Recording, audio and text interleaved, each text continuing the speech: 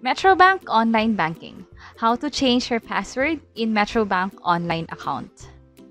And kung bago ka sa channel na to and gusto mo pa ng mga helpful videos na katulad nito, please click the subscribe button.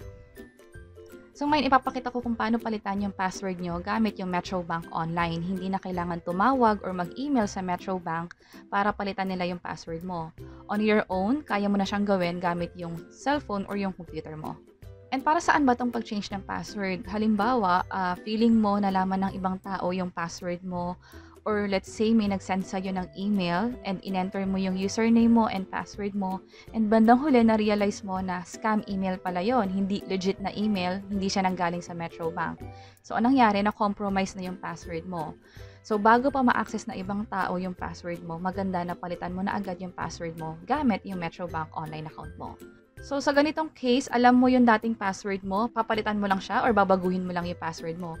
Pero kung ang sitwasyon mo is hindi mo na talaga matandaan yung dati mong password, iba yung step na dapat mong gawin. And may ginawa kaming video on how to uh, change your password if you forgot or nakalimutan mo yung password mo sa Metrobank Online.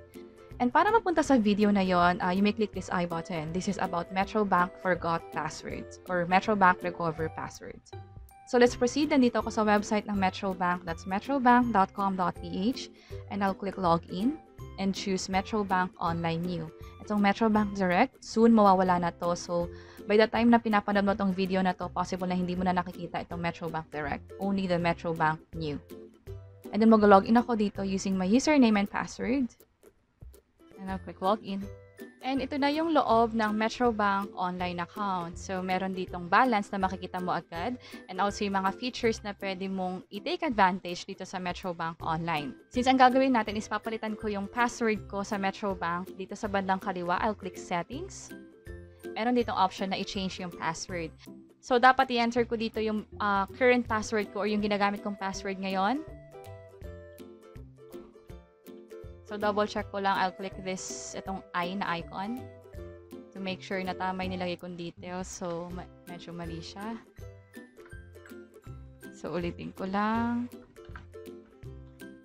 And for the new password, yung password na ilalagay dito is dapat pasok sa mga requirements na to. Walang space, at least 8 characters, may isang um, uppercase na letter or big letter, may isang lowercase, may isang special character, and at least one number.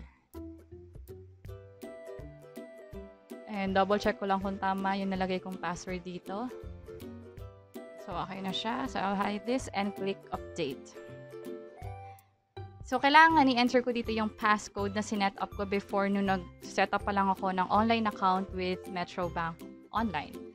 So, lagay ko yung password, password, I mean passcode ko dito. So, and napalitan na yung password ko. So, pwede na akong mag-login sa Metrobank Online gamit yung password na sinet ko dito. And also, may na-receive na rin akong text from Metrobank about this uh, password change. And that's it. Sana nakatulong tong video na to. Please let us know by clicking the like button. And you may also share this to other people, lalo kung alam yung pwedeng makatulong to sa kanila. And post ka na rin ng comment sa baba kung may naisip kayo ibang topics na pwede naming i-share online. And this is Lou from Invest Library. Until next time, bye-bye.